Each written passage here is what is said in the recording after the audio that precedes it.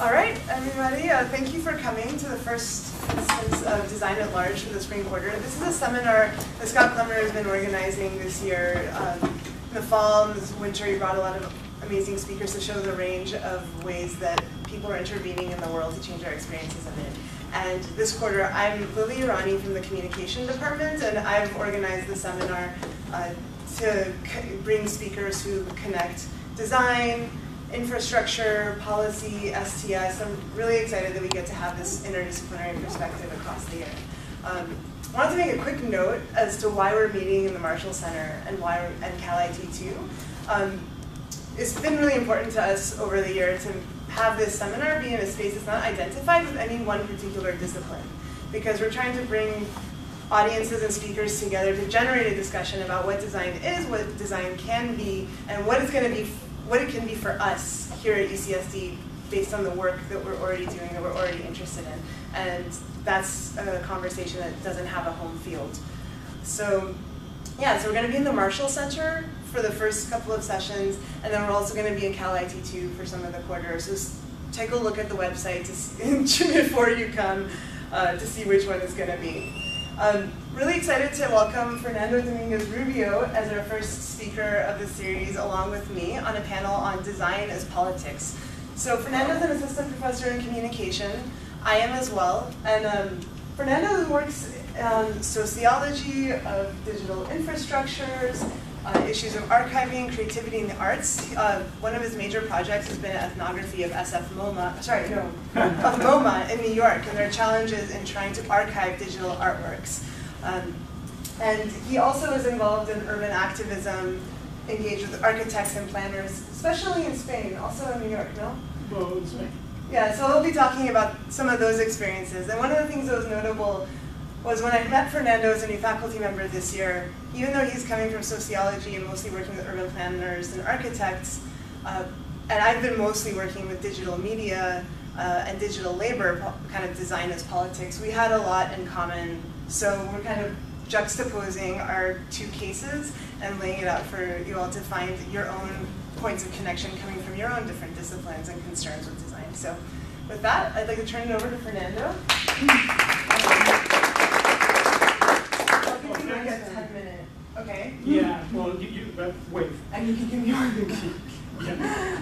Uh, so thank you very much for the invitation. And I, well, as Lilly said, I come from, I don't come from computer science. So my take on design is going to be slightly different, but I think that some of the things that I'm going to be talking about, I think that it's going to be easy to see why they overlap or the kind of lessons that you can draw from this uh, um, fruitful for discussions about uh, politics of design in in a more general way. So the topic, I mean, the title is on the, the political capacity of design, and I will explain what that means. So the general aim is uh, to ask the question, to raise the question of uh, what are the political capacities of design.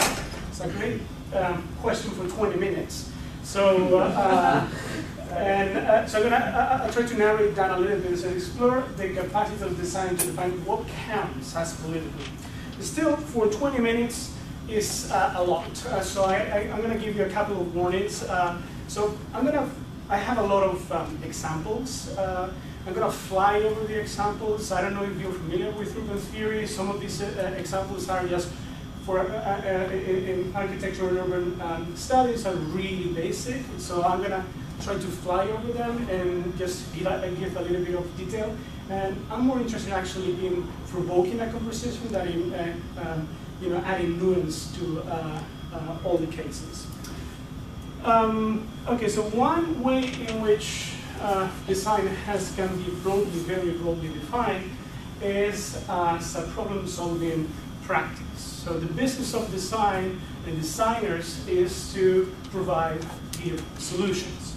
So what I'm going to try to do in the talk is to explore exactly the opposite, is to explore the possibility of thinking of design as a problem causing and problem posing uh, question. So I'm going to explore the possibility of what if we think of design uh, in terms of um, its ability to create and raise problems. Uh, now, let me first go back to uh, the politics of, of design, how the politics of design have been understood when it has been defined as a problem-solving practice. Now, when it has been uh, defined as a problem-solving practice, the main, um, can you see that? Right? Okay. Uh, yeah. Uh, sorry for the font. Uh, It is a problem-causing practice. Yeah, it is. It is. Very performative. Yeah. Uh, that's the point. It's the point. So, so one of the ways in which, uh, when we think about design as a problem-solving practice, uh, I think that, uh, most of the discussion has been focused on what I would like to call the enfolding capacities of design. And by enfolding capacities of design, I define the capacity of design to inscribe, congeal, or hardwire programs and codes into material, spaces, and bodies. This is a very abstract definition, but with the examples, I will, it, it will hopefully become uh, clearer. Now, this discussion about enfolding capacities have been, uh, has, has divided the camp in two big groups. Uh, the, the, guys- the guys who are the apologists of design, this is a good thing, that design can actually inscribe codes uh, into spaces, behaviors, and objects, and the critics. And I'm going to go very quickly over each of those uh, groups um, first. So let's me, let me start with the uh, apologists, and this is one of the great ones. Um, and for the apologists, uh, uh, design uh, the enfolding capacities of designs uh, of design are good because they are a powerful form of indirect rule. And thanks to its ability to influence behavior through tacit, invisible uh, codes and programs. So uh, a very famous example in urban theory is what I would like to call the unfolding of Paris. So in the 19th century, Paris is an ungovernable, ungovernable and insalubrious city that is rife with conflict. There are three revolutions in the, in the span of three decades. Uh, there is insecurity, and there, are epidemics uh, uh, uh, that are fatal in, in the city. So uh, the solution to this problem was uh, sought in the actually in the enfolding capacities of design. And it was the Baron, oh God, you didn't see everything, right? So it's Haussmann who is in charge of the renovation of Paris between 53 and, and the 70s, and the whole point, uh, in his own words, to it was to regularize the disordered city to disclose its new order by means of a pure schematic layout which would disentangle the city from its dross. So the idea was basically uh, to use, uh, the belief was that design, urban design, uh, could instill codes of action and morality. Specifically that uh, design could be used as a tool of moral and political regeneration. So thanks to this new built environment, uh, the, the city was capable, that, what, that is what uh, Haussmann thought, was capable of keeping order and keeping morality and uh, keeping, um, keeping a healthy environment. Now another famous, very famous example is uh, the, yes, I'm curious what you mean by design here. And I know that's, you know, words don't have meanings and all that jazz, but it's, it's a hard one to, So in- what, what kinds of things are you thinking about when you're talking about design? So in this case, it's the design of urban form. Uh, so for example, I mean the, the design of the boulevards, the design of the big squares, uh, the design of uh, the infrastructure of the city. So that is the practice, the, I mean the design of urban form. Okay, and here is another example. It's also on Paris. Is Le Corbusier uh, Plan Voisin uh, in 1925. And this plan was even more radical. The idea was to bulldoze the whole center of the city and to create uh, in the center of the city a new city for 3 million people. And uh, the idea was basically to unfold through this uh, new uh, urban design um, some of the basic tenets of uh, capitalism. So it was rationality, and functionality, and that was going to be promoted through this uh, urban design. Okay, this one didn't get uh, built, but uh, Le Corbusier had the, the chance of building actually a new city from the start. And this is uh, in Chandigarh, in India, right after the independence. Nehru commissioned uh, Le Corbusier, Le Corbusier uh, the, the plan of creating a new city that was going to embody the principles of rationality, functionality of the new India, uh, the modern India. And the, the, uh, Le Corbusier's uh, words are really well um, telling, and the idea is to enlighten the present and future citizens of Chandigarh about the basic concept of planning the city so that they can become its guardians and it from the wings of the. so it's the same belief that through the building of uh, built form, you can shape uh, action and you can save morality and politics, actually. And this is another one, the last one, uh, uh another famous example. The first one was about unfolding capitalism, or the principle of capitalism. This one is about unfolding communism. Uh, and this is uh, Ginzburg uh, uh building that was built in 1932 in the Soviet Union. And they called these buildings social condensers. So the idea was to uh, create buildings that were going to promote a communist lifestyle. Uh, they, they, were going to um, knock down hierarchies, barriers, and it was going to create an egalitarian space. So it's the same again. Now, of course, I mean, this, this, this idea of unfolding uh, codes and programs doesn't need to take place at this, at this uh, grand level of urban intervention, and folding mechanisms are, uh, operate at every scale of human action. And I'm gonna give you this one because I love it. Uh, so you have a problem like this, this one, and, and, and the solution is this one. Uh, so how do I get my husband to pee in the toilet? Uh, threaten him pee outside the toilet, toilet no, se no sex. So that's a solution, but there is another solution, which is a design solution, which is this one, which is, has become really famous, which is the target fly, and this basically reduces uh, uh, 60 or 70% of people being inside uh, the toilet as a result of putting the target fly. In Europe, they have this other version. I don't know if you can see it. It's a goal with um, with a football, uh, uh, so you can score. I think with this one, the, the percentage of people is actually higher. Um, so that is how basic male psychology is and how easily you can operate with it. Um, this is another one, uh, which is uh, a, a, really annoying problem in London, is what tourists do, and then they go to London, they don't know that actually in London you have to place your, uh, in, your position in the escalator is on the other side. Nobody knows that, and they, they create these huge uh, uh, clogs in the escalators. So there is a design solution, which is uh, to put a, a, those footprints and solves the problem. And you have this one, which is also one that is championed by, by the proponents of uh, design and the uh, virtue of its enfolding capacities, which is child obesity in school. And it has been shown that if you design the cafeteria in specific ways, you can increase healthy choices, depending on where you put the food and depending on when, uh, you, uh, this, how you design the layout of uh, the cafeteria.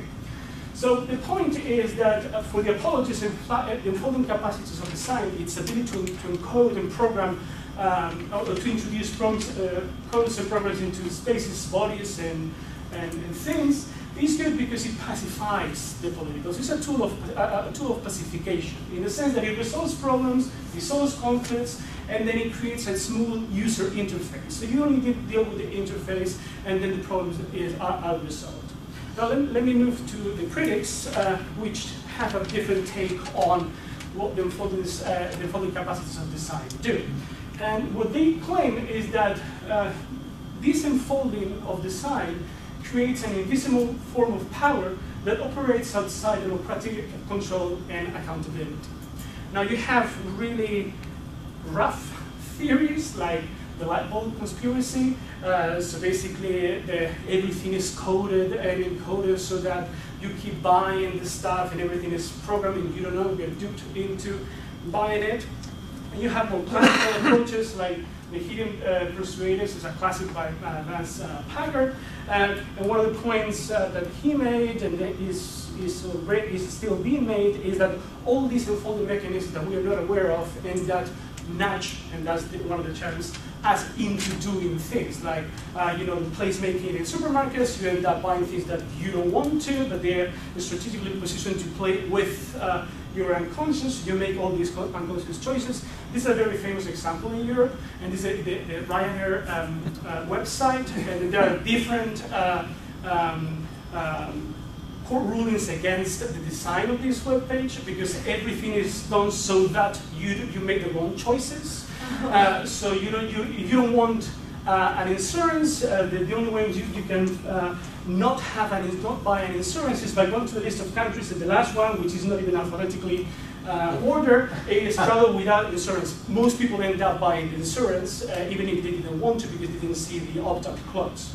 Uh, and Ryanair is very famous for doing these uh, kind of things. And I don't know if you know this book, it's a fantastic book that has just come out, out in 2013, and is by Natasha Dow Schüll, and is Addiction by Design. She explores Las Vegas, and she explores how everything from the air to the light to the layout is meticulously designed so to increase addiction in the, in the, in the space. So basically the, the point uh, that the critics are making is that enfolding um, implies a passive model of, uh, of citizenship. And that's what uh, Thaler and Sussman uh, called the libertarian uh, paternalism, they promote it. Um, and the problem is that uh, you are, uh, with, with this kind of designs, you are oper operating at the level of the sub subconscious. So you are playing with the subconscious of the, of people and you are just um, nudging them into doing things even when they don't acknowledge uh, it.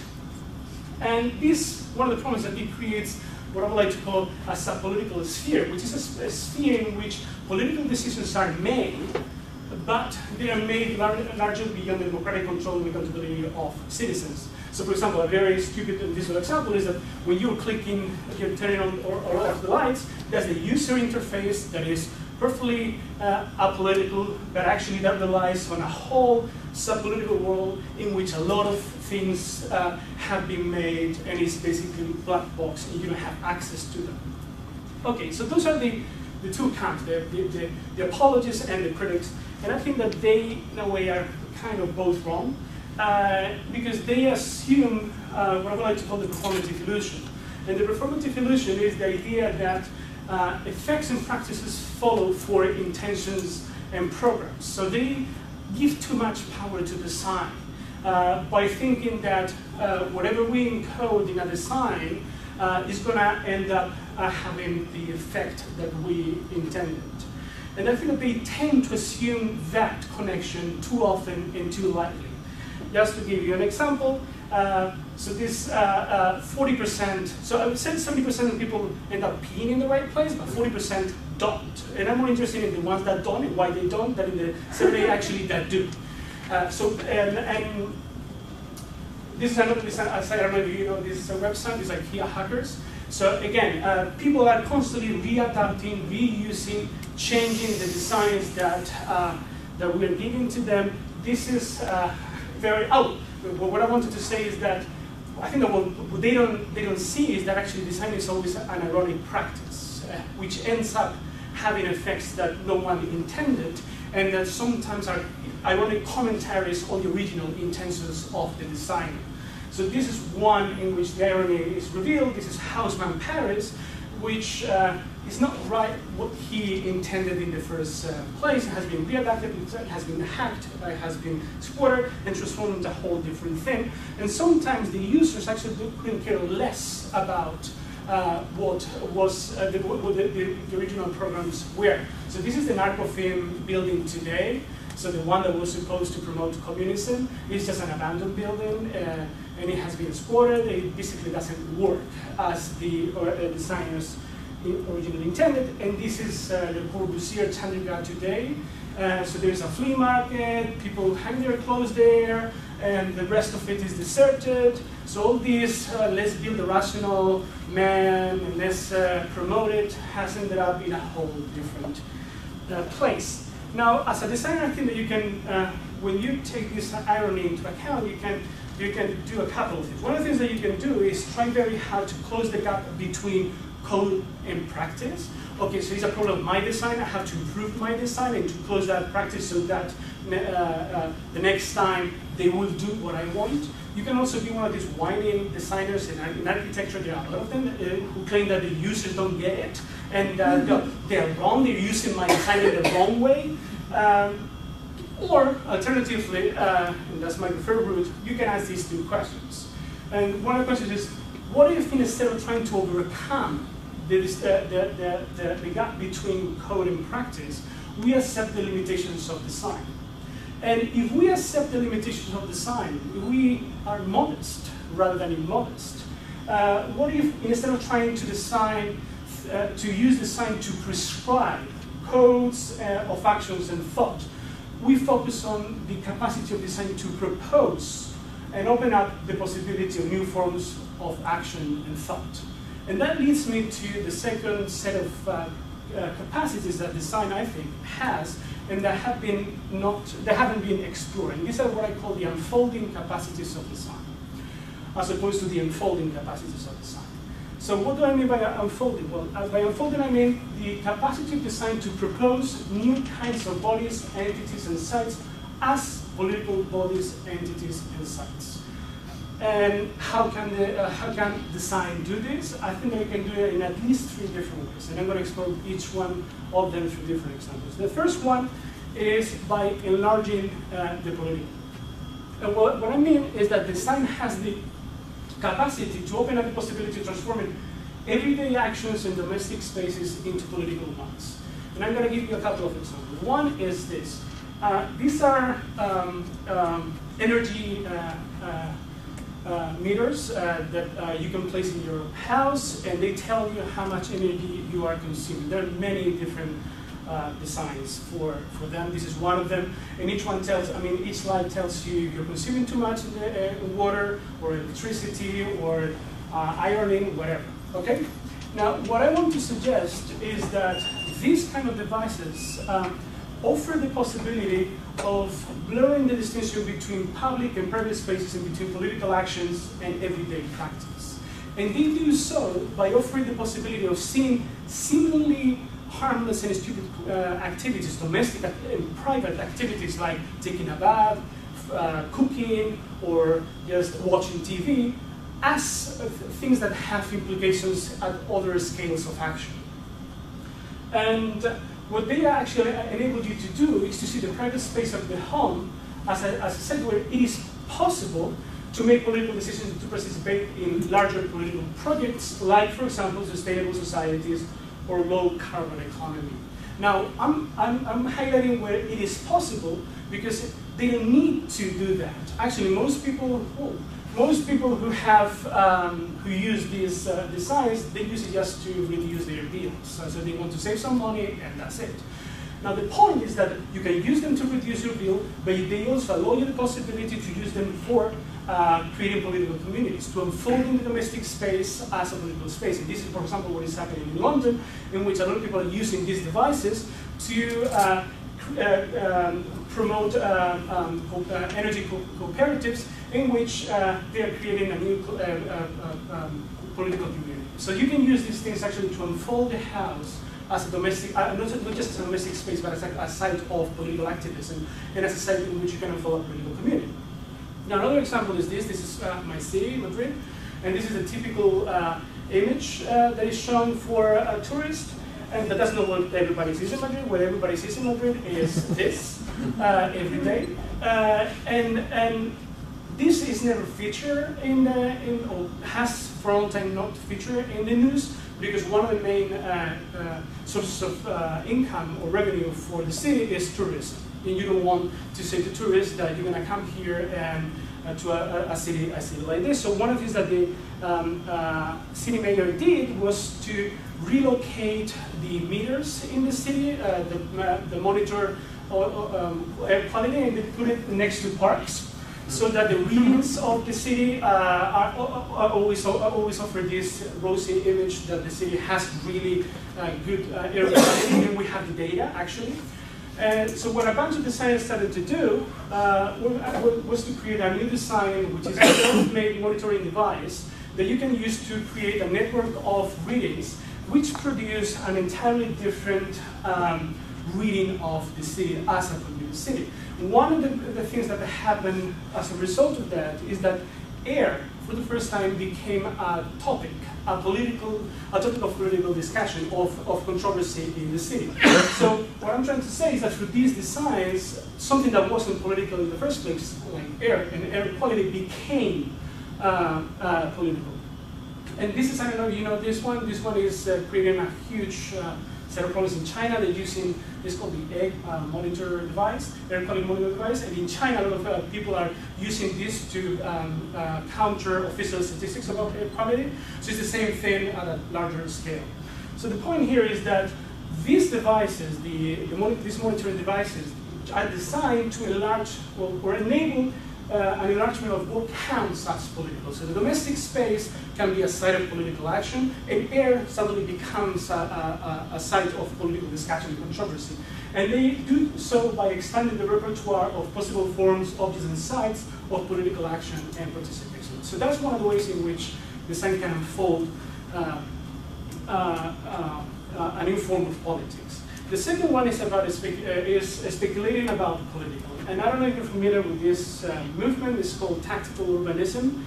And, and they do different actions. They intervene in different cities. And, oh, sorry.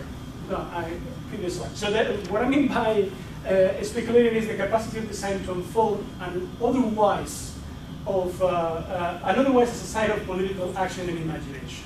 The example is tactical urbanism. So these guys, what they do is trying to reclaim public space, the use of public space, and, and they do so in different ways. So this is one action, and this is called open street. So what they did, what they did in this one is they block a street and they turn it into a yoga studio. So uh, the point was that uh, to just to uh, raise the question of what if this public space could be another thing, and to use that as a way of questioning the uses of public space.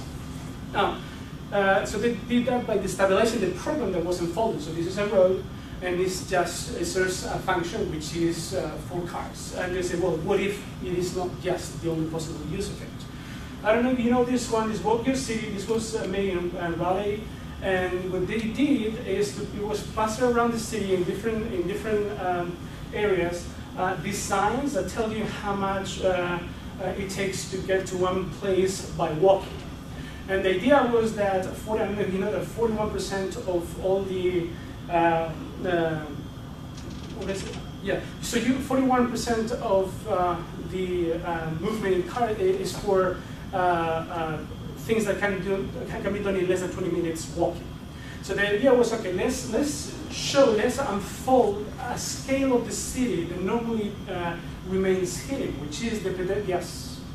So this, this to me looks an awful lot like a nudge. Well, I will dispute that, but that in the Q&A. Uh, I, I, I, will dispute that. Okay, so what they did is, uh, okay, so this is, uh, uh, what they're trying to do is to disclose, to unfold a, a, scale of the city that remains hidden, which is the scale, the pedestrian scale, which is one that we don't see by actually showing that the city can be also a walkable space and not just a space that, can, that you have to drive. And this is another one that is called parking day. And what they, uh, what they have done, this has been really successful. So these people will occupy um, parts of the street and they uh, uh, create a park uh, in them. Uh, it's just to show that actually, well, you know, that these spaces can be used in, in different ways, and actually there's a lot of waste space as well.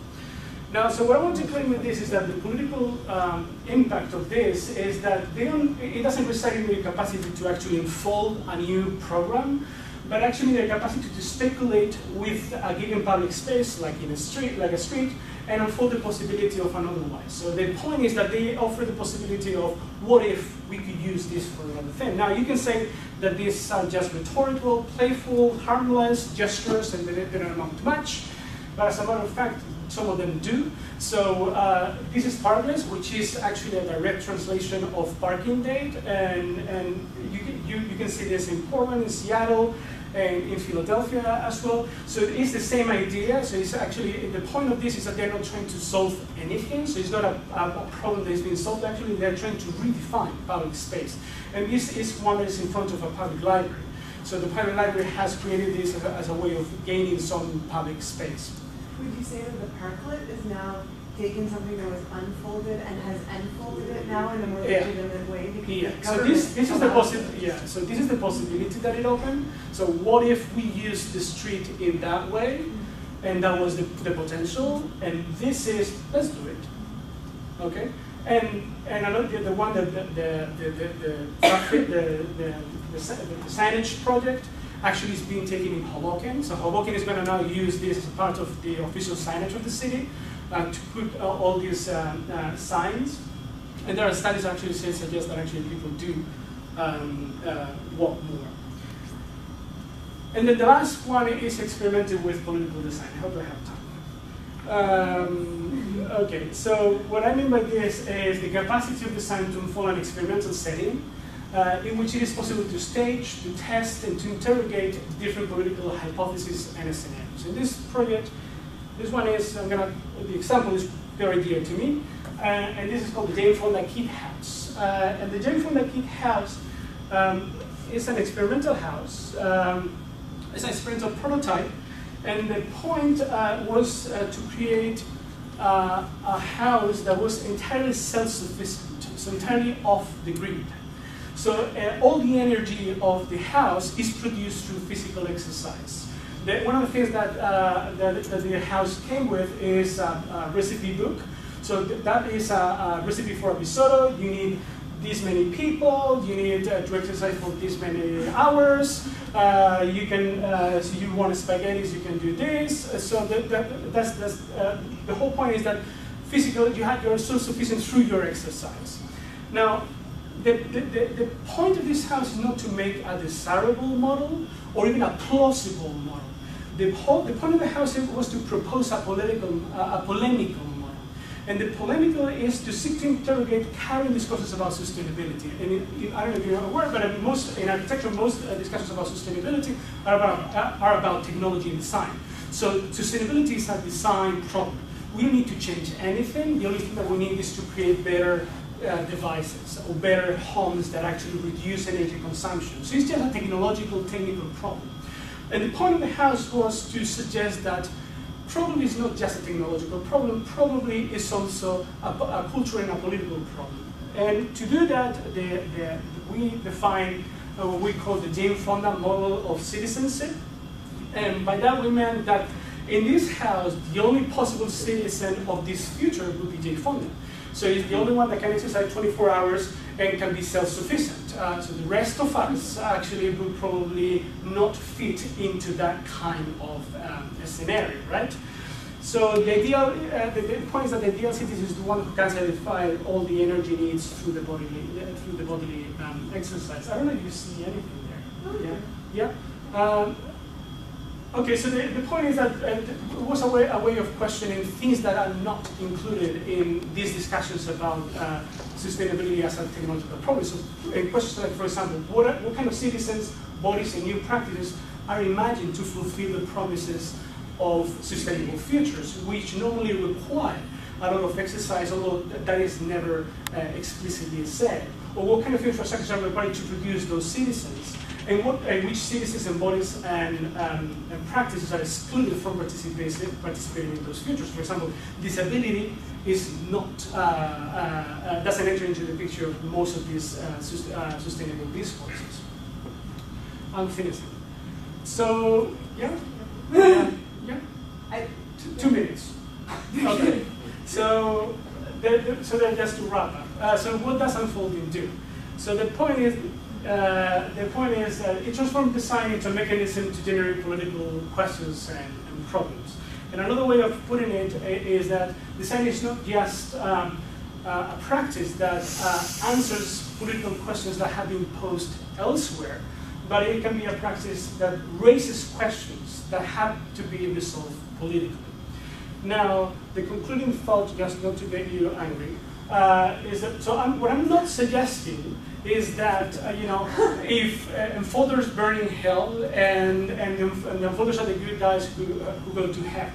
So what I'm, I'm, trying to suggest is that enfolding and unfolding are two different modes in which design can matter politically. And, and not only that, is that enfolding and unfolding articulate different political forms and practices. So the question for me is which one you take. I mean, if you uh, do unfolding is that do you solve or do you see, I mean, you want to, to solve, do you want to problematize? Do you want to shrink the political, do you want to enlarge the political? Do you want a pacification of the political, or do you want to uh, create an agonistic space for the political to emerge? Do you want to prescribe or do you want to propose? Or do you want passive citizens or do you want active citizenship? So it's two different ways, two different uh, modes in which design can matter politically. And it's up to the designer to uh, choose one the only thing that I think that you cannot do is to pretend that there are no politics in design and not to choose any of them. So that's what I wanted to say. Thank you.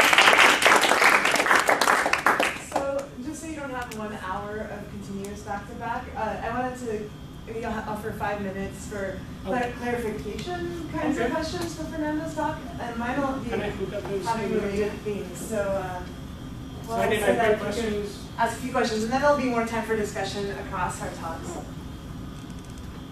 Yes.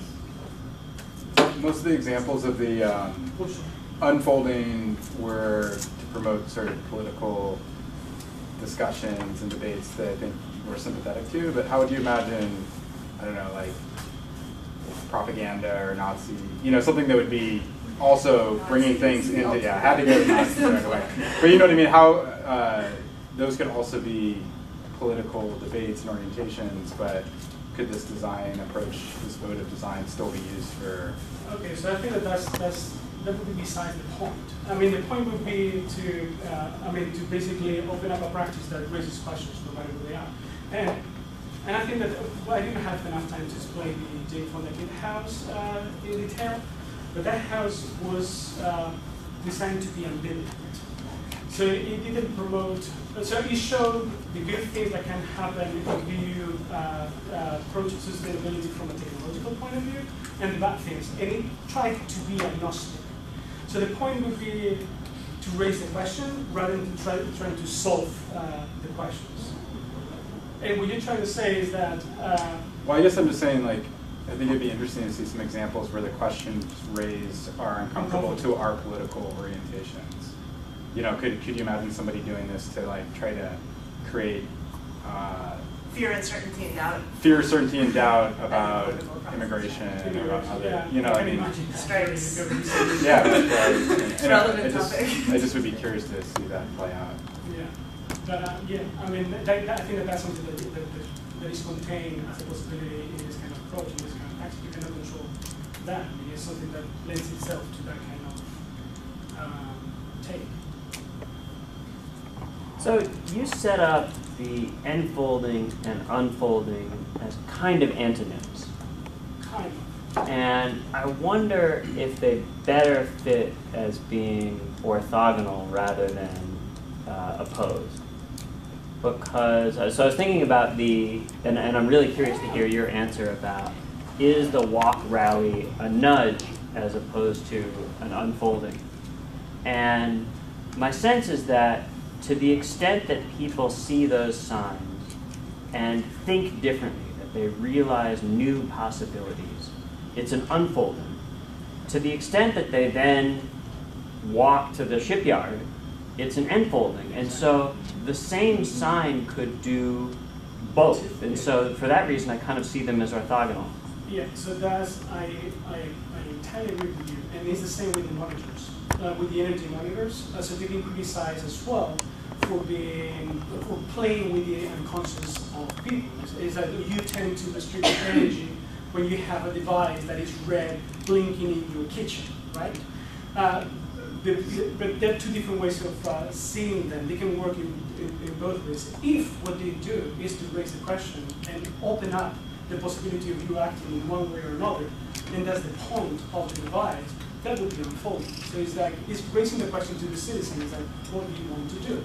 If you want to go, you want to, what you want to do is to encode the practice and the decision of the citizen in the design, that's the enfolding part of it.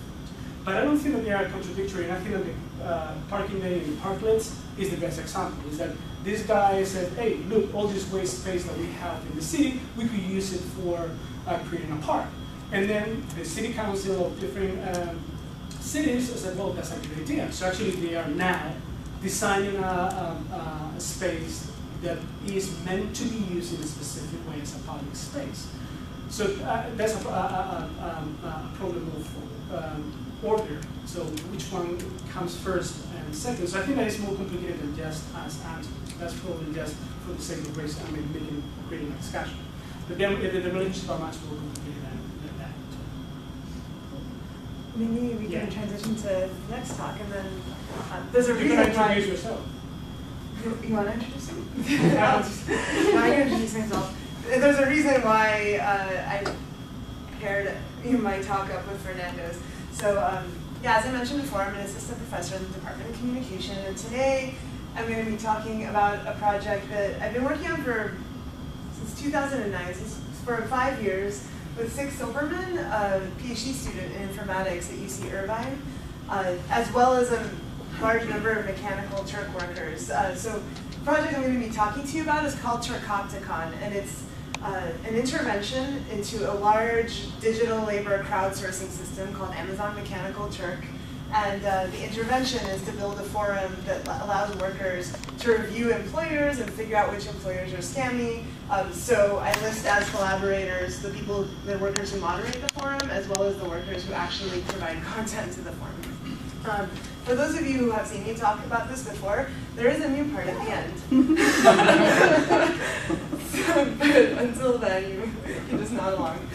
So, um, in, the, in this talk, I'm going to start by arguing the Mechanical Turk uh, is this, which I'll explain more about what that is, is a system that organizes human workers as a form of computational infrastructure to be used by computer science professionals um, and often academic experimenters as a convenient way of getting data.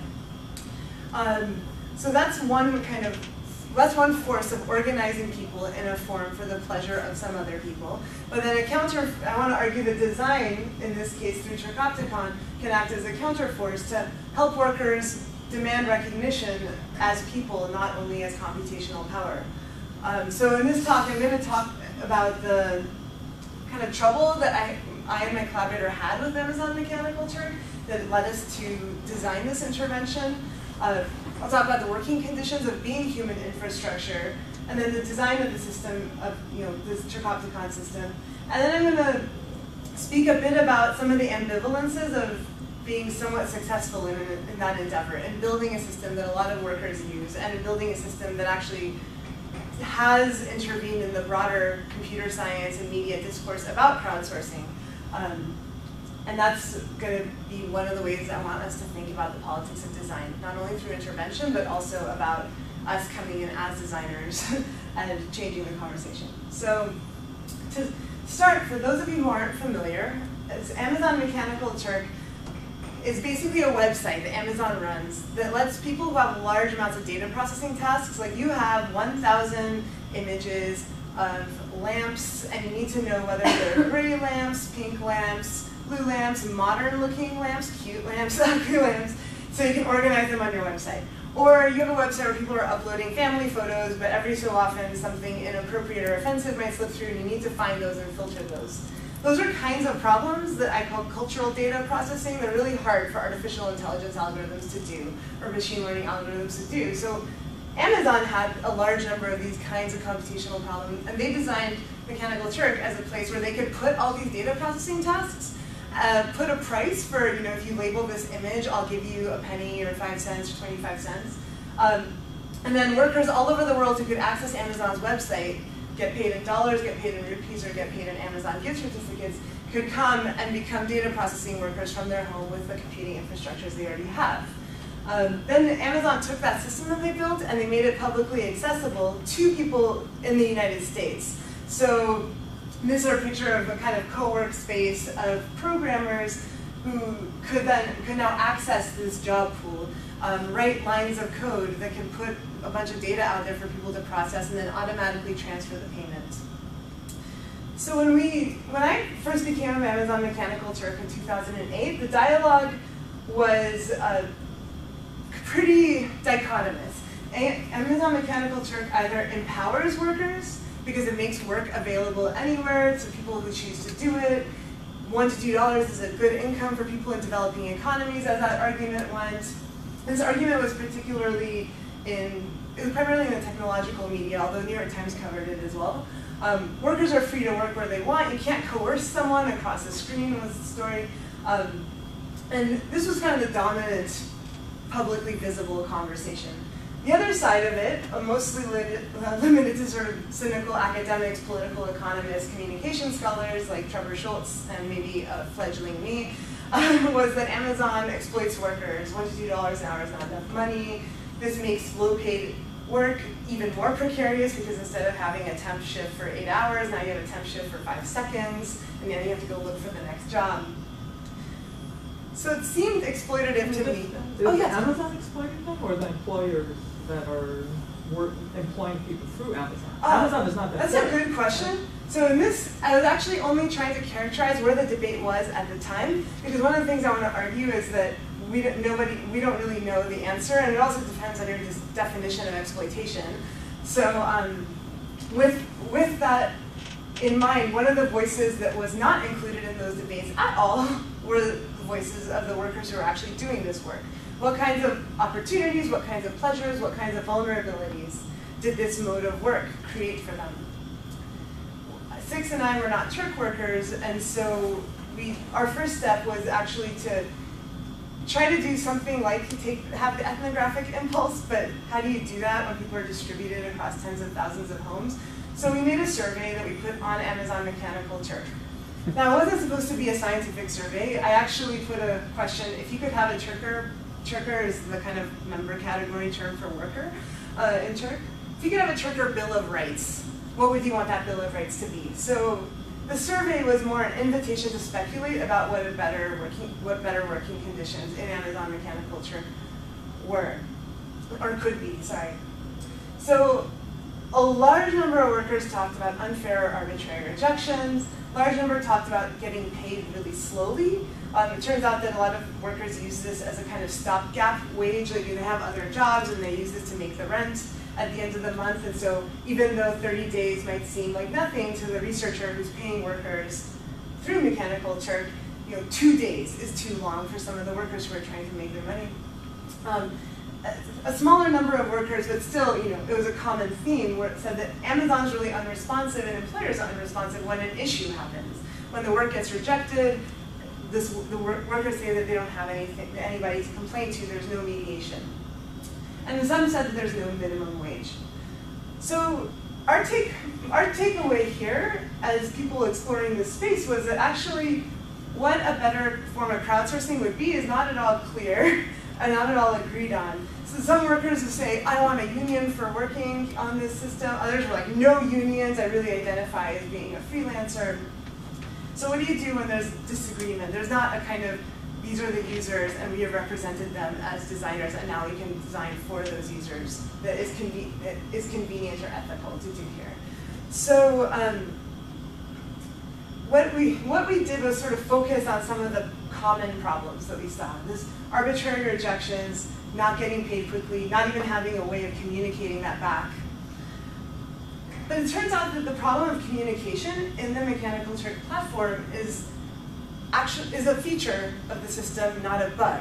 Like Mechanical Turk lets a programmer hire 20,000 people for two days to do a whole bunch of data processing, or you know, 10,000 people on an ongoing basis to process data that's coming into their servers made through API calls.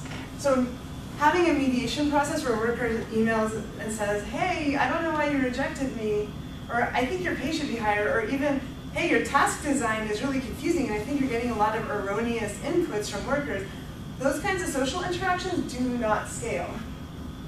So I also I also was going to some crowdsourcing meetups, talking to requesters during this time, and one of them just explained it as you can't spend time exchanging mail. The time you spent looking at email costs you more than what you paid them. This has to function on autopilot as an algorithmic process and integrated with your business processes. So the automation of hiring and firing and managing people, of rejecting the work that looks like spam and accepting the work that looks good and processing payment, in some sense has to be black boxed into the algorithm because of the scale of the employment that is happening here. That's kind of the feature of Mechanical Turk. That's the selling point, that it makes workers into a scalable infrastructure that hums along, much like computation. And that a community, borrowing from Leigh Star's definition of infrastructure with Ruladir Bauker, uh, undergirds a community uh, that has shared practices built upon the assumptions that this infrastructure keeps going. So in 2006, when Jeff Bezos was announcing Mechanical Turk at MIT, can you keep time for me, actually? It's okay, I think, okay, I have 10. I start, I, never mind, I know when I start. Um, in 2006, when Jeff uh, Bezos announced this at MIT, he actually sold putting people into code as the thing that makes Mechanical Turk a, a, a, really valuable service. So here you have this pseudocode, you know, where while your product, you know, if you, when you get a photo, that if that photo contains a human, well, how do you know it contains a human? Well, you call Mechanical Turk, and you invoke this task, human in a picture, you pass the photo that you want to process in, and you set the price, two cents. And then if the answer comes back from the person on the other end who's doing this data work, contains a human, then accept the photo. Otherwise, reject the photo. So the whole point of having this code is that you're not managing it on a case-by-case -case basis.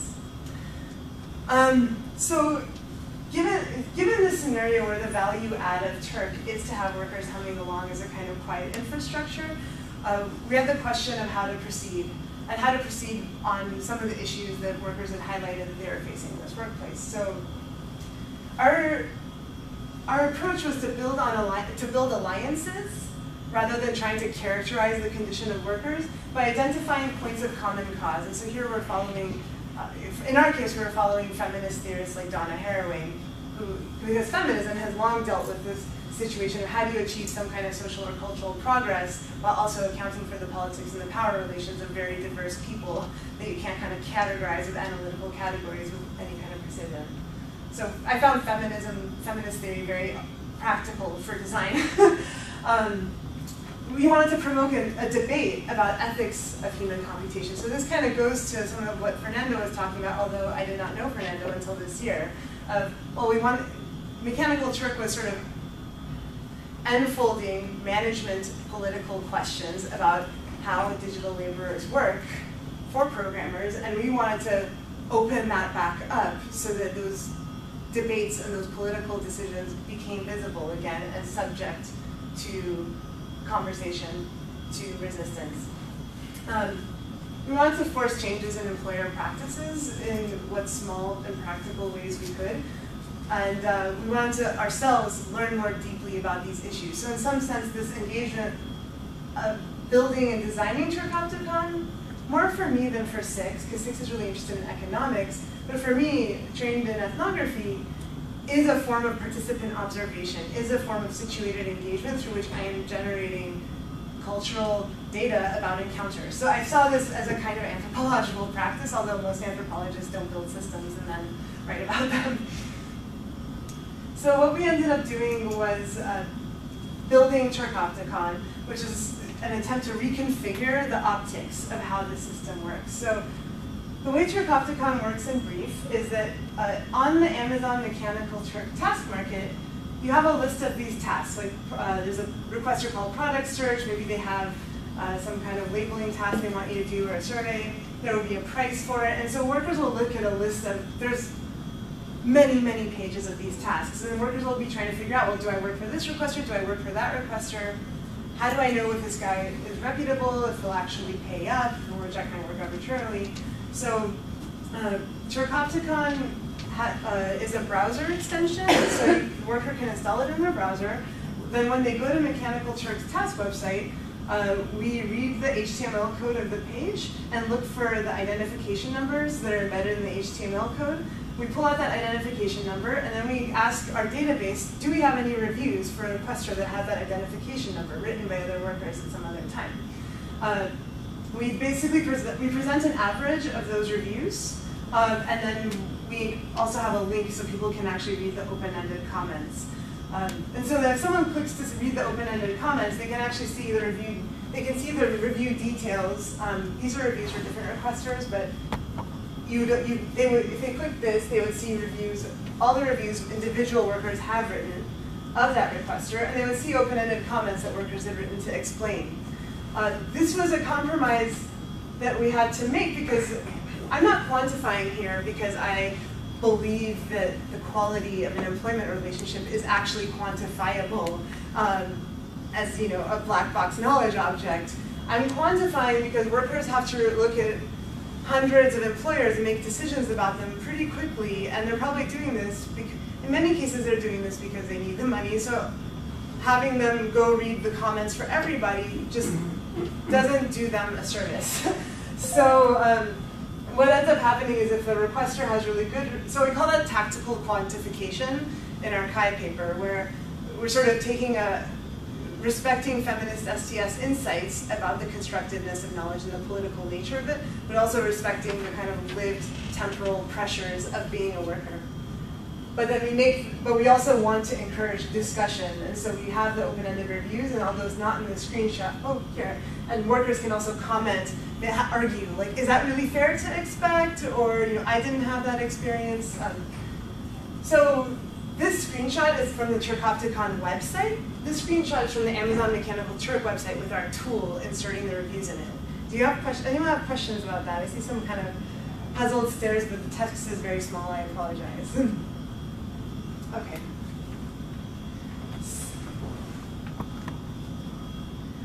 Okay, and then so when I first kind of sheepishly told someone I knew, there's somebody I knew was the CEO of a crowdsourcing company, and uh, he's a friend of a friend. And then when I told him about this project, I felt really like it was going to be very socially awkward. hey, I'm cr- criticizing your industry. Um, and he actually read this as, oh no, this is leveling the this is leveling the information playing field. This is important for a well-functioning market. And I thought, oh, that's interesting because I don't think that this tool can ever level the playing field. People are coming in with really different levels of economic vulnerability. But it's interesting that the CEO reads it that way.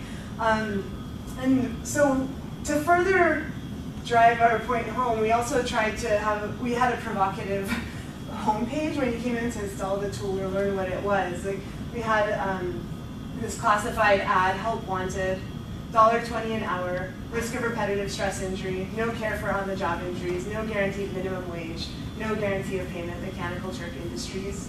Um, or I had, I'm not a graphic designer, but I made this dot like hand-drawn dot matrix font. um, so the point of this was not to, it was to carve out an, a kind of adversarial position to provoke debate about crowdsourcing because we didn't want this to feel like, oh, this is the solution, someone is taking care of it, fantastic. No, there's lots of other issues workers will face that we can't do anything about. So, um, by some measures, these are our Google Analytics, we are, success we are successful. We are living the dream of homegrown user-centered design in that lots of people use it. This is 20,000 unique visitors um, per month. I think I took this in November. Uh, lots of page views, hooray.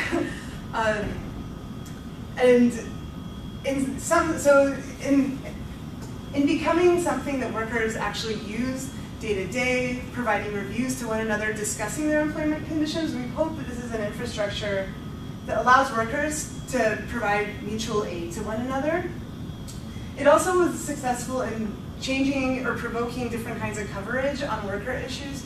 So there are articles on Mechanical Turk in Sacramento, over is over the last five years, Sacramento Bee, O'Reilly Radar, Public Radio, both in the US and abroad, The Nation, The Verge. So these, these were articles that when they sought to cover Mechanical Turk, especially the earlier ones, they were going out to cover this new form of work, but then now there's something on the web that sits there and says, hey, you know what, there's real questions to ask about this source, about this kind of work. So I can't go and talk to every journalist, but I can make a website that catches somebody's attention, and then they come and they, you know, want to get a quote or want to learn more about these conditions.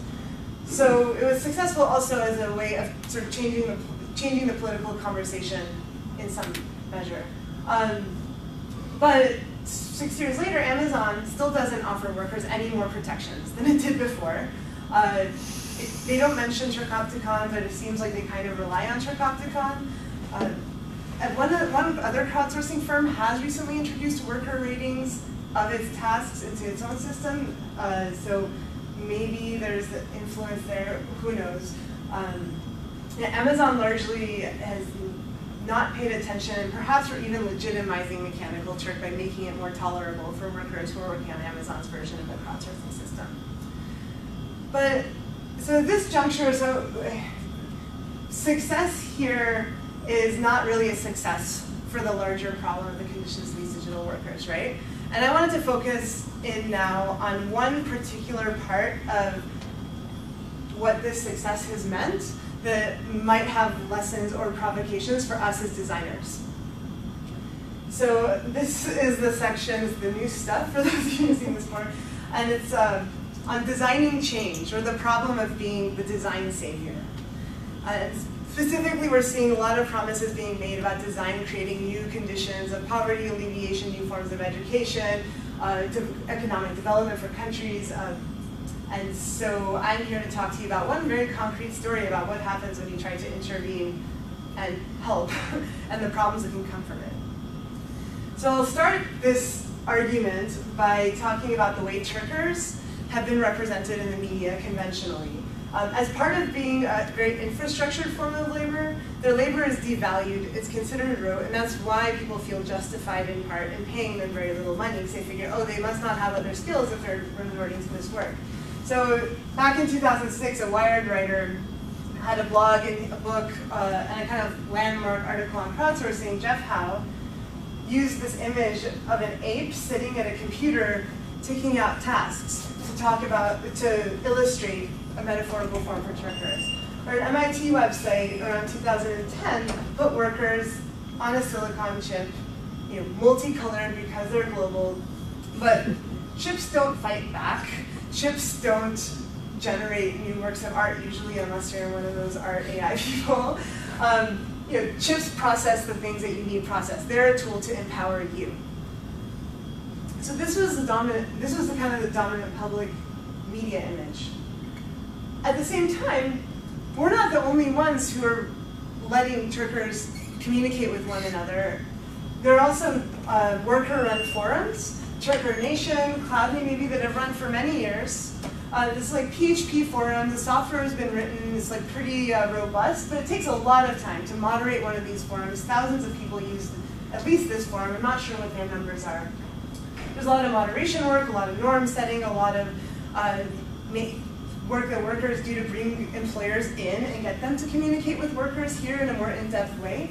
So Turkers are not just docile chip processors, they're actually doing organizing work themselves. They're using technology in important and meaningful ways that are making an impact in their kind of ecology of mutual aid. Turkopticon is one piece of that ecology. But reading the news, you wouldn't see that. reading the news, you would see that you know, Turkopticon is Union 2.0. This is a Verge article. So they cover the high-tech industries. They cover innovation, entrepreneurship. We're Union 2.0. Or this Nation article portrays crowd workers as ghosts in the digital machine, and then they quote us as, pe as people who are sort of recognizable as activists trying to provoke workers to recognize their rights and re recognize their alienation. Um, there are other articles that are like this, but I just wanted to use these as examples. Um, so within these broader communities, like Turker Nation and Cloud Baby, like we've been in contact with them over the years, but then uh, they get pissed, right? Because these articles are making us saviors and making them dopes. We're saviors because we made a browser extension and made some kind of new code and we're located in an institution of higher education. And so we have this sort of cultural capital to be recognized as innovators. We make a good human interest story.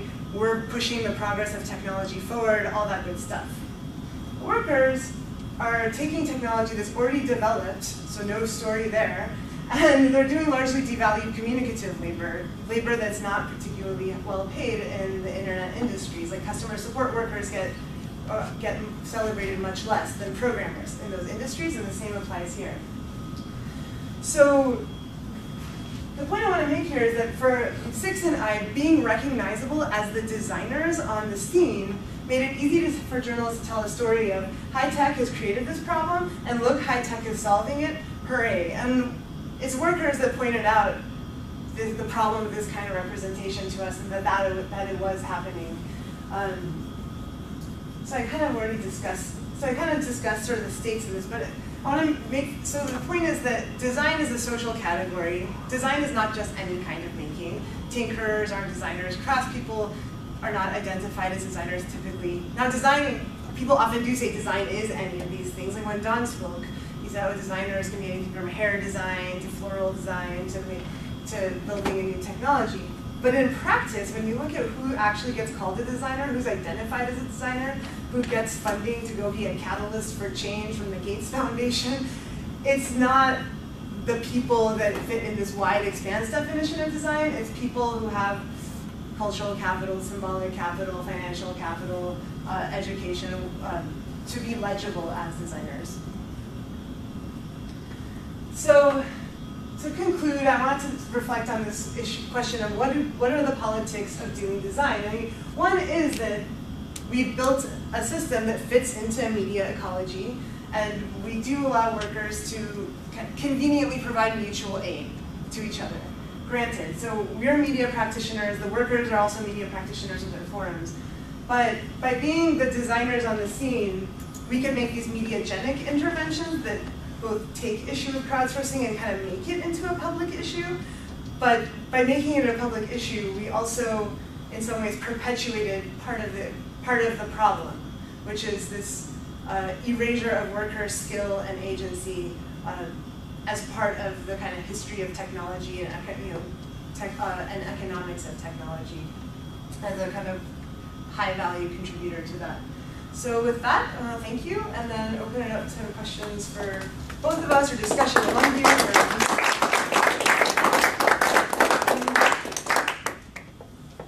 yeah, you want to come up, or, or you want to ask me a question? you can bring a chair. Or you can stand. Here. the unfolding.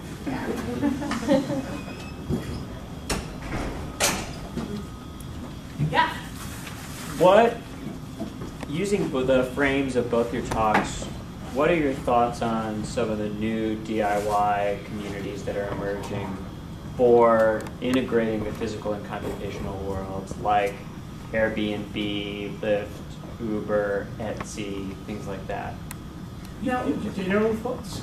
Can I ask you a clarifying question? So you mentioned Airbnb and Uber, and um, also Etsy. So, but then you also said DIY. Like, do you see those three things all as DIY? Well, I mean, I think there's an interesting set of stuff that has emerged in the past couple of years that has the flavor of either new market for people to be able to make things and share it with the people have something, mm-hmm. be it uh, an object or a skill. Mm-hmm. And there are new markets for connecting that resource availability with people who are interested in that, whether that's a ride from here to there uh, or, you know, a, a new chassis of some kind. Mm-hmm. And it, I mean, it, it just seems, that seems like an area worthy of analysis. I don't have thoughts beyond that other than it seems interesting.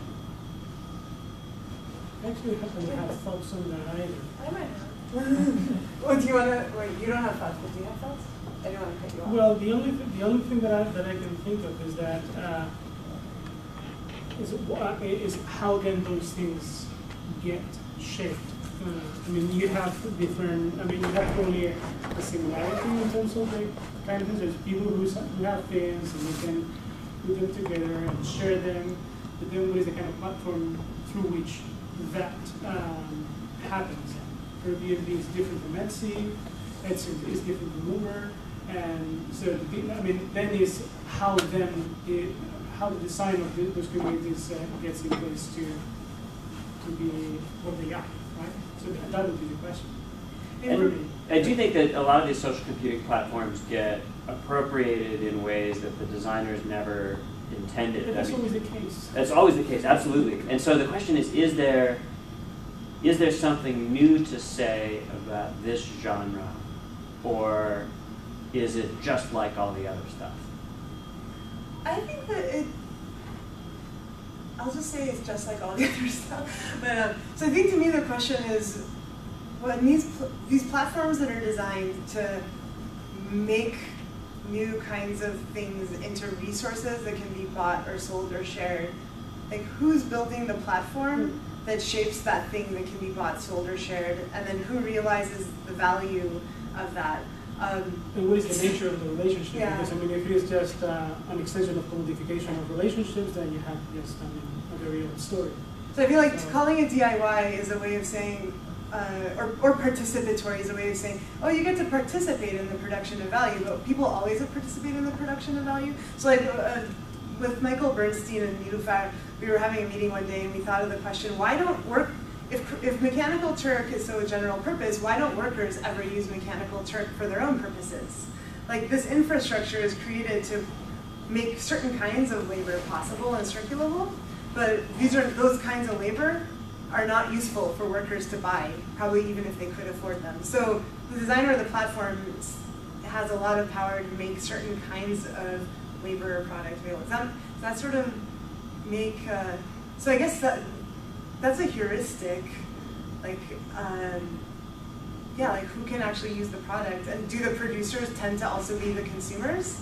Like if it's really uneven, then that's a that's probably a sign of some kind of closer to extractive relationship that's happening, right? I also wonder if there's the, by being kind of the platform in the middle to let these two different parties, you know, the buyers and sellers come together, uh, which tends to get treated as neutral. I feel like it's a really strong power position, uh, in part because say you're doing Lyft or something like that. I imagine that a big part of your business depends on developing a good reputation on Lyft and so forth. But what if suddenly they start charging more? It's not like I can switch taxi companies. You know what I mean? Like Mhm. how do you bring your reputation and all those reviews and things like that that might be a big part of your asset with you? Can you actually move those across to a different platform? The same way that you know you kind of get locked into Facebook. It's like, well, that's where all my friends' comments were and things like that. So I'm kind of stuck there. So- And another thing that um, you reminded me of is, so by calling it a platform, the other thing that's accomplished, and this is an argument that Tarleton Gillespie makes the politics of platforms, is that the company says, oh, well, we're just a platform. People are empowered to produce their own stuff in it, but so we're not legally responsible for it unless you really make us. They try to make arguments that by being the platform, they can ca- they, they should be paid something, but they also shouldn't be responsible for the things that happen on top because it's open-ended and like that's one of the things that Or they're selling. the new Michael Lewis book about the stock exchanges and the way that they're partly making money by selling brokers space in their buildings to be closer to the exchange. Mm-hmm. So it comes across as like we're just this neutral marketplace, and you know grocery stores and stuff like that have been doing that for years too. Like we'll charge you the seller the good to have a better space in Walmart or wherever. Um, but you know it appears like it's just this neutral marketplace or store that they're actually uh, exercise a lot of power. Has anybody ever done one of these as a co-op? The what? Oh, like crowdsourcing or? or- Yeah, is there a co-op Turk? No, I've never seen it. Um, Six Silberman and Gilbert Bernstein at Stanford have both talked about it, but uh, no one has had the time paid to eat to do it. I think it's a great idea to try it. I think it'd be interesting. So I have a question for you, and I think there's one that that relates, I mean, in, in architecture, one of the things that you hear all the time complaining about is that uh, what happens with their buildings is not what they intended to in the first place. Uh, and I think, I, I think your, your, your talk was a version of that in a sense, Mhm. is that, um, I mean, is, is this, I don't know what was the word, is, to, I mean, not to acknowledge the, the, the limitations that you have as a design. Okay, so you intended this to do something, but then you feel ambivalent because it hasn't, it hasn't accomplished much, or much of what you would have liked it to accomplish. Mhm. And, but that's probably as much as you can, Yeah, it's not surprising that yeah. it's, it's only disappointing, not surprising, that Amazon Yeah. hasn't changed its practices. Good. Yeah, so that's, I mean, it was only that, I mean, is that this, this, I mean, is, I think that when I took talk is this idea of the performance evolution is that, well, I mean, if I design something very good, then things will follow. Mhm. And then they, things don't follow, and then they feel really disappointed by it. But it's, I mean, is, is the nature of, uh, I mean, Yeah. that, that, that was my point is of, of accepting the limitations of design. Yeah, exactly. Yeah, I don't, I didn't want the talk to be like, this is a failure. I, I- just wanted to, so in addition to the thing about these interventions don't get taken up the way you expect, I also wanted to add the dimension of our positionality add the people who claim to be the authors of those interventions and how those also become part of how the intervention is taken up and interpreted in ways that we don't, uh, in ways that we don't hope. But I mean, in the sense that it did change the dialogue, I feel like Yeah. it is, it has been an unfolding device, and I feel okay about that. oh Sarah. Oh, one of the things that like fascinates me about the sort of unfolding, um, unfolding, unfolding is, I mean, is how it's sort of like, I mean, they seem incredibly mutually reliant. Like when you were talking, I was thinking about, you know, a friend of mine who um, did her her project, in Adonia, um, on the on the Ciclavia in LA, and essentially helped start, you know, this open streets event as a sort of like way to see the streets in this liberatory way. Now, what's ended up happening is it's become more popular and the mayor's become behind it is now it's also become a tool for gentrification, Yeah. which is exactly the opposite of what she wanted it to do. And so it's sort of, you know, I was going to use critical mass as an, Maybe as an example, and but that's i- is that's the thing. I mean that's the thing. But, but again, I mean it's, it's about recognizing the. It's not about solving the world. It's that you're mm-hmm. raising an issue, and that you're actually pretty powerless as to what comes out after you raise the question. And, and your power is limited to, if you're lucky, to raise the question and to make it into a public uh, question, a, a, debate. And then how it is then, I don't know, what, for example, with the walking sign, signage that Hoboken is doing, I mean, probably they're going to use it for, you know, revitalizing parts of the city, to make it more walkable, more attractive. Probably, there's going to be probably real estate interest in, in those signage. I don't know. I mean, the question, what they did in the first place is that, you know, the city is also, or can also be a walkable space. And that kind of pedestrian scale is something that was seen what they were trying to, you know, raise. That's what they did. Now, what happens next is, But is it, in making it, oh, sorry. I can, well, there were two questions. I don't know. I'll wait. Okay, Bill. Oh, I was going to say that I've been thinking about this since the, the first half of the talk of these, but the, the interreliance that there's really a dialectical structure to what you're talking about. So think about the Kantian dialectic or even how it gets used in Marxism. You can start to see that there, that interreliance is, is, think of it as a larger process. That it's now not a design process where I design the artifact, but in some sense the, the, the whole thing is being designed all the time. And sort of this, uh, what's the dialectical structure? Hypothesis, antithesis, synthesis. Right, so that's sort of a, a structure. And we sort of take that as a, maybe a, I think you said this, as a normal, normal, normal way that business is conducted. Well, for me, more than dialectic, I would, I would prefer agonistic, in the sense that, for example, one of the things that, uh, that you can see how they feed each other is uh, so something gets unfolded and then is absent from public discussion because the problem has been solved. And then when, when that problem has been settled, is when uh, that creates actually the conditions for unfolding. Is that now we have to, oh, wait a minute, this is not uh, solved for me or for my group or for my interest. So then is when you create actually this the, the, space for unfolding of that problem. When that gets unfolded and then it gets into the public debate and then it gets uh, again settled and then again that creates hey, this was actually a false closure of the uh, of the polemic. Then people that look uh, these are things that uh, haven't been uh, settled, and you know so it's that kind of process of going to and fro that is actually creating actually basically the public sphere as an agonistic uh, exchange between these processes of unfolding and unfolding. Jacob, you had your hand up a while ago. Sorry. Um, I don't think you should beat up on yourself at all about not creating a revolution um, in among Turkers. I guess both of your talks make me think. Um, well, there- there's still when you talk about design, even if it's to open up spaces, it's still there's still some source or some kind of agency, right? To to begin with, a designer. I just I wonder, um, as a again, maybe this question is too simplistic or too open, but what happens if you think about, I mean, if you're interested in making change as a designer, what happens if you apply the, the question of design kind of as a historical exercise to like, say, the, um, the civil rights movement? would would you, in, in this country, do find, is there a way to, in terms of a model, I guess, is there a way to think about the Like doing successes there work. as, as having design in it?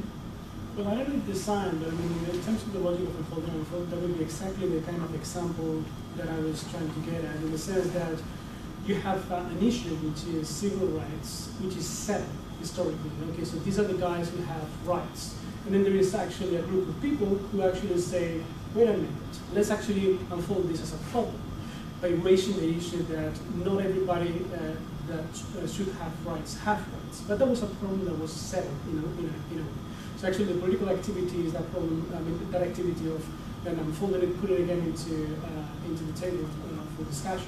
I don't know if design has uh, something to do with it as a sign, but it's that kind of logic of uh, closing off question, uh, debates and open them up again as political questions. It seems to me like when you talk about design as something that can unfold and unfold, design is actually only one thing Yeah. that can do that. Yeah. And for you, design, my reading of your talk is that design is about um, material interventions that explicitly play with form and space as opposed to just language, which is maybe how we would be used to thinking about the public sphere. Yeah. But you don't mean design in the sort of user-centered design process, or what's the nice, what's the thing that is appropriate for the people, user groups that are defined as having this need, or that kind of thing. So, uh, So so then, you would never tell the history of a social movement as a history of design, because Yeah. design is only one of the things that matters, Yeah. or in material intervention is only things that matters. So I had to cut off like 20 slides uh, before coming. And the, the 20 slides were, uh, I don't know if you know the of uh, Jacques Rancière, who is a, French philosopher. And uh, what he uh, suggests or is that why don't we think of politics as aesthetics? And by thinking of politics as aesthetics, he doesn't mean to think politics in terms of art. He thinks of aesthetics as uh, what he calls the division of the sensible. What is visible, what can be heard, what can be seen. And he says that political activity actually is the management of what can be heard, what can be seen, and what counts.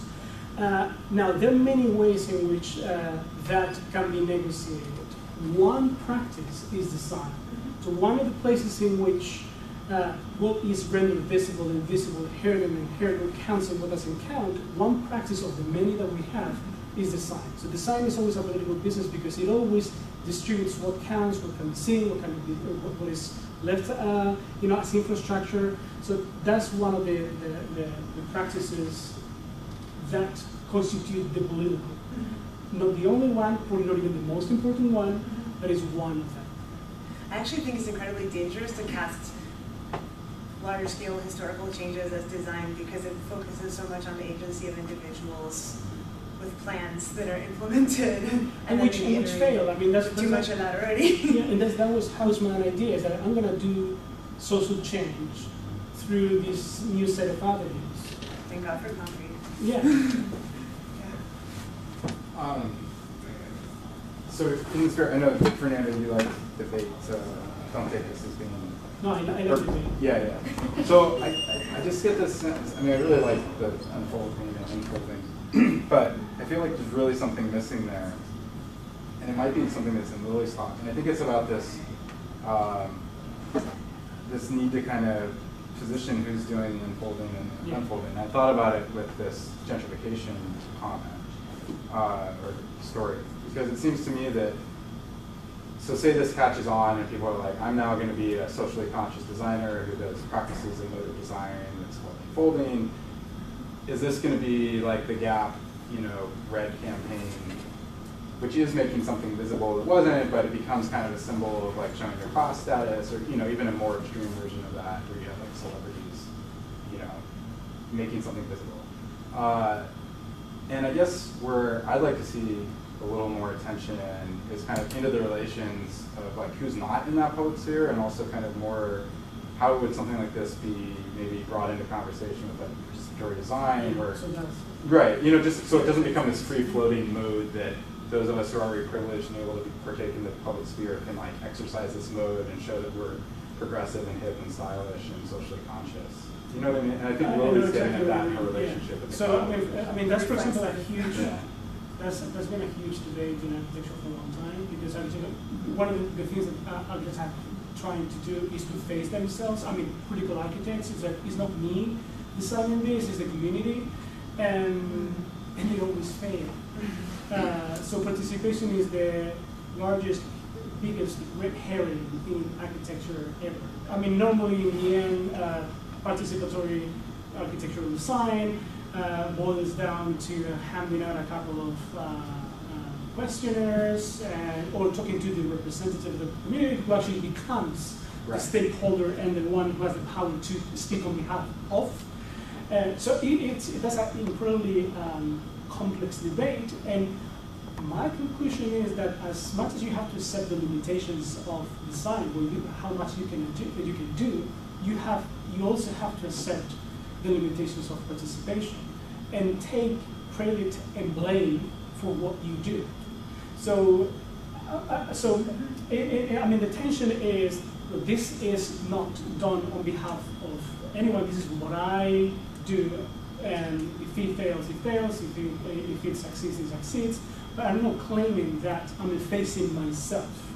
And But naming community yourself. speaking, sorry. But, sim- but simply naming yourself doesn't solve the problem either. No, it doesn't. Yeah. But it doesn't solve the problem. I that's mean, a that, but, yeah, but that it doesn't solve the problem because you cannot solve the problem. Yeah. You have, you are gonna. It's, That's I. I remember with, with, with architects saying, you know, this uh, participatory design bullshit, as they say. Uh, in the end, if there's a suit, I am the one responsible. I'm the one going to jail. So uh, I have to take full responsibility of this. I can say that, that, that but I cannot pretend that uh, I am uh, that the people are speaking through me.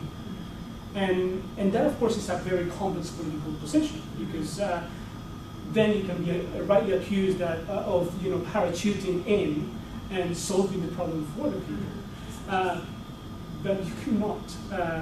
Uh, I think that what, what is impossible to achieve is this uh, untransparent and I'm just a zeitgeist. Uh, uh, No, I, I agree with that, but I guess what I'm saying is, I also think there's a problem with not being acknowledging- explicitly Yeah. acknowledging the Yeah. different power relations that are involved Yeah, in whatever yeah, concrete yeah, yeah. setting you're dealing with. Um, so that it doesn't just become another mode, trendy mode of behavior that signals Yeah. class So- status in progressive neighborhoods. I want to make sure that, so, uh, that we're able to get out at six. Deborah, um, do you have a quick? I just want to make Oh, yeah, sure. comment about that. This will be the last. alternative is that you um, commit to being a designer in the community for a very long time. Yeah. So Teddy Cruz has been working with Casa Familiar for 20 years. We designed a robot in a, in a field center where we worked for 10 years. So it is, uh, we design it with them and we live with them and we change and, and Which doesn't mean that you are playing in, on an equal field. I mean, you are the designer, and you have to take responsibility for the decisions that you make, and you bring. yeah, yeah, but you're breaking the cycle of, of Yeah. uh, you know, Yeah. Yeah, that's So you, I mean, there's, you can. That's a break the cycle. fantastic ending comment. Okay. We should.